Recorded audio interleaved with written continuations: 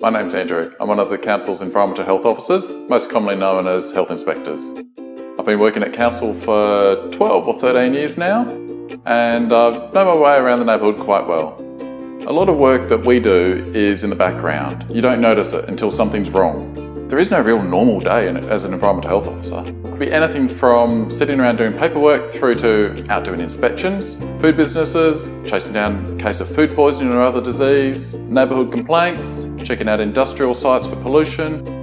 Favourite part of the job would be, I like an investigation with a challenge. Nothing where you just walk in and you've seen it before. When we go into a hoarder's house, one of the things we notice is there's often an odour. It's a musty sort of smell. It's an indication that there's poor circulation. There might be mould in the house as well as all the collections. Early in my career, I learned a few tricks of the trade.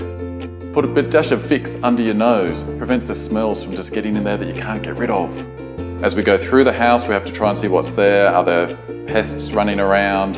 Is it clean and tidy? Are things stacked properly? In some cases, it's relatively harmless. People have their collections. Uh, in some cases, though, it is a serious health issue. It is an issue for the individual at the house, but also for those living in the area. If there was a fire, could the MFS prevent that from spreading to neighbouring houses?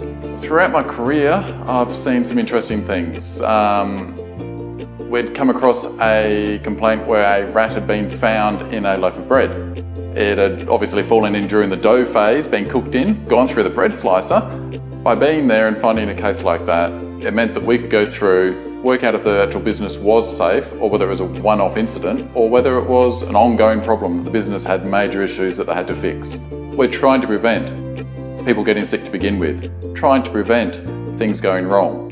When the things do go wrong though, we also also are out there trying to fix it up so that it doesn't go wrong again.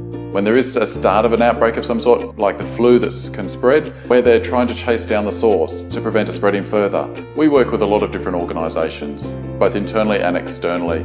We work with the home care support team. We work with the engineers to try and improve access.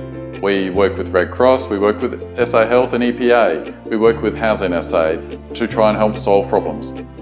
Lot of times we're called out because there's a neighbourhood dispute. In the first instance, we're always there to try and educate and provide support and guidance.